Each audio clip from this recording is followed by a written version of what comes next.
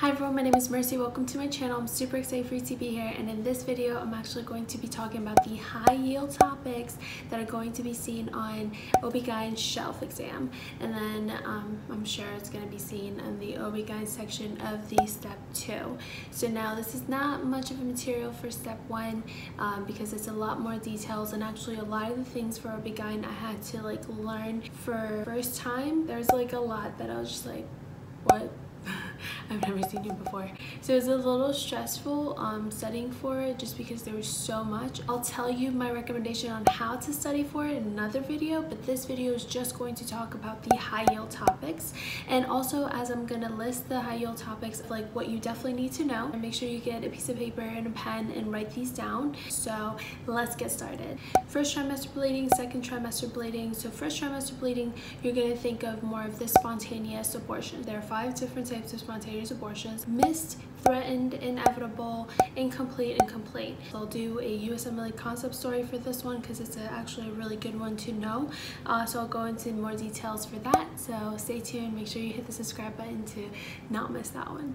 These are not in any particular order, by the way. Pi mole is really important, and it's really uh, important to understand that the complete mole um, has beta HCG that's really high, and that they're also going to present with hyperemesis. So that's something that they'll clue you in to go towards a mole presentation rather than a spontaneous abortion. And then you have your third trimester bleeding, and this you want to think of placenta previa, placenta abruptio, placenta abruption, uh, same thing. They're going to come in complaining of either painful or painless bleeding. Now the way they describe it in the vignette, it gets confusing. Sometimes they might not make it obvious that it's painful, so any tenderness, any back pain, consider this as a painful uh, third trimester bleeding. Vaginosis, vaginitis, candidiasis, these are super important. The way they treat it, what kind of presentation, such as the pH, they'll tell you the pH of the vaginal discharge, whether it's 4.5 or less than that or more than that you'll see like a bunch of questions on this. Cervical cancer, yes, so high yield. You need to know how to treat it, like how you're gonna manage it. You need to know the criterias of what you have to do next. They ask a lot of next step in management. Be able to diagnose the disease and then know what to do next. Endometrial cancer, uh, so risk factors are really important. Okay, so if you're pregnant and you have HPV, um, what do you do next? That's really important. Once like you get a pap smear that's um, positive or abnormal, you're going to, in a pregnant woman, you're going to do a colposcopy for sure. However, once you do a colposcopy in a pregnant woman, it's not that bad, then you're not gonna go further on. You're not gonna do a biopsy unless it's really bad um, and you are definitely not going to do an endometrial uh, curettage. Granulosa tumors release estrogen. So if they release estrogen, they're going to have an endometrial hyperplasia because of the estrogen effect on it Sertoli-Leydig, which is going to be testosterone. Remember, testosterone is an androgen, which causes, you know, the woman's going to come in with hairiness all over her. Stress incontinence. Now, stress incontinence, I did a UWorld concept series on that one. Go ahead and check that out. If someone has clear fluid that's constantly leaking through their vagina and they had a previous uh, history of radiation surgery or some kind of surgery in the pelvis region, you are going to recognize that this is most likely a fistula that's causing this constant leakage through the vagina. Primary amenorrhea. This is super important, both primary and secondary.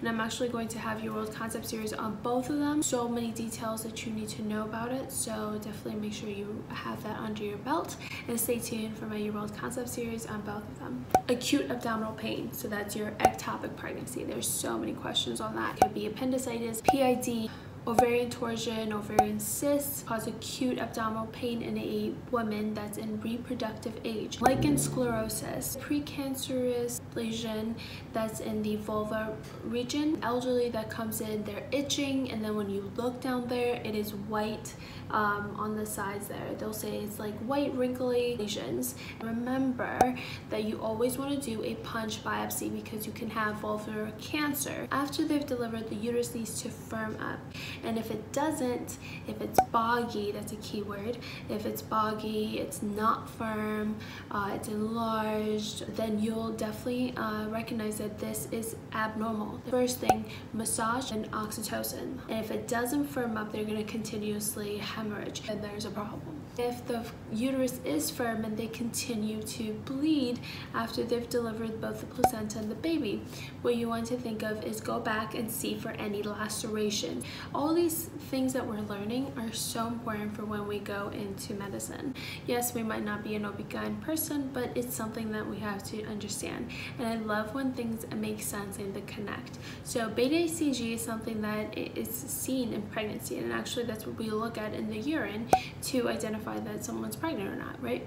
So beta HCG, where is it coming from? It's coming from the syncytiotrophoblast, or what's implanting essentially um, to then form the placenta. So it's coming from the syncytiotrophoblast specifically, which uh, stimulates the corpus luteum or keeps it alive to produce progesterone. And this beta HCG is going to be really high, but then eventually it comes back down. So by the end of the first trimester, it begins to decline.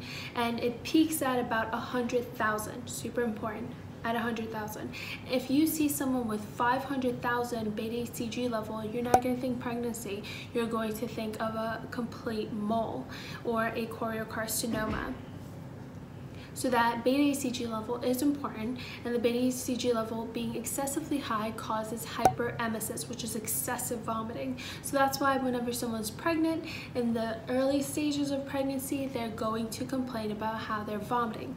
Now, a little bit of vomiting is fine, but if it's excessively vomiting, they're going to get dehydrated. So we usually um, admit them and we try to hydrate them and we give them antiemetics.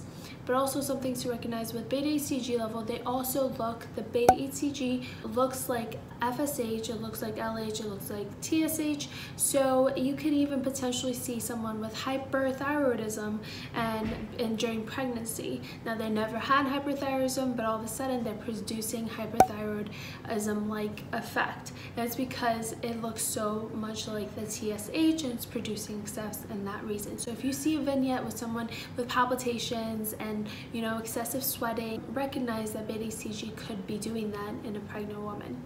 Okay, so I feel like this is getting really long. Polycystic ovarian syndrome is important. Recognizing the different types of contraceptives uh, is important. The number one vaginal bleeding in a child, always pick foreign body. Adenomyosis, leiomyoma, endometriosis, and the breast masses. It's really important to recognize the different masses and what you do next. So when you find a mass, what do you do? It has to be age appropriate. So 27 year old with a mass, what do you do? So it's really important to recognize when do you do an ultrasound, when, when do you do an, a mammography, of uh, fine needle aspiration. With postmenopausal, what is the hormone that's high, FSH. Definitely know your preeclampsia, eclampsia, and HELLP. And with preeclampsia, there's mild and there's severe. Recognize what makes a severe.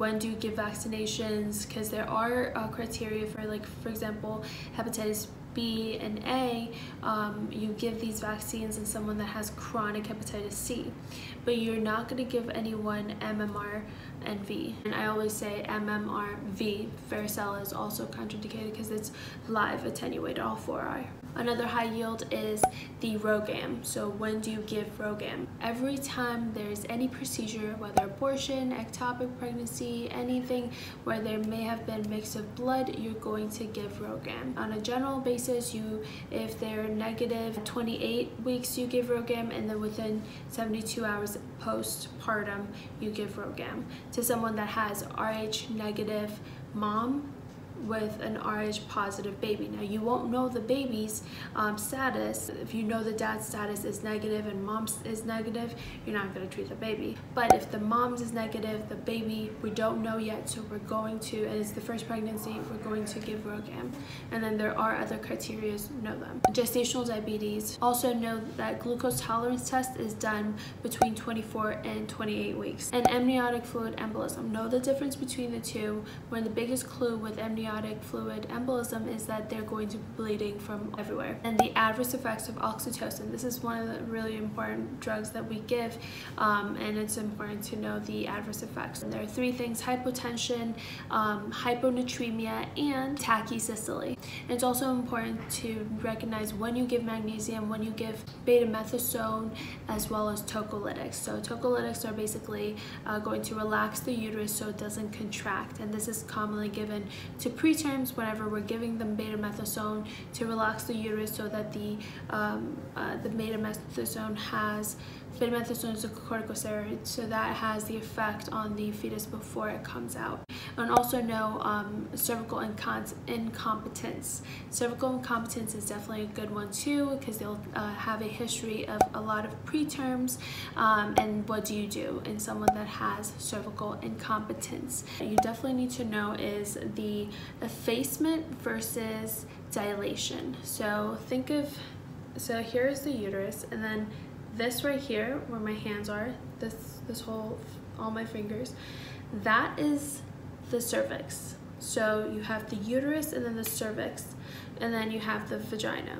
So this cervix is going to get effaced, and this is effacement. So this is 100% effacement, this is 0% effacement. So when they say effacement, it's basically how much the cervix is kind of coming up and kind of like, you know, going along with the uterus. And then dilation is how much it's opened up. So if they say 60% effacement and three centimeters dilation, they'll have dilation and effacement. That's so this is dilation, this is like opening it up, effacement. The labor phases, you need to know there's phase one latent and phase one active. So the latent phase is when it becomes effaced and the um, the active phase is when it dilates. We want the dilation to be up to 10 and that is when we get to stage 2. There are four different tracings that you definitely have to know.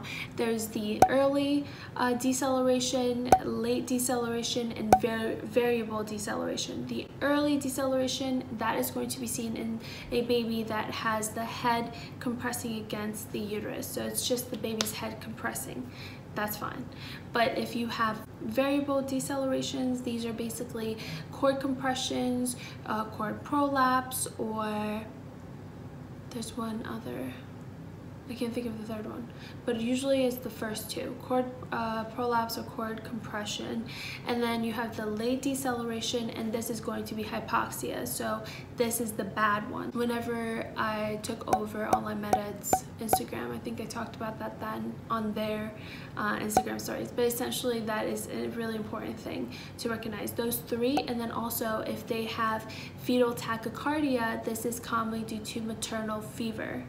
So I hope that was really helpful. Uh, let me know if that was of any help once you've taken the shelf exam because I'm sure you'll see a lot of those topics on there. Uh, so thank you again and I'll see you guys in the next video. Make sure you hit the subscribe button, hit the like button, and do share these videos as they'll be super helpful. And I'll see you guys on the next one.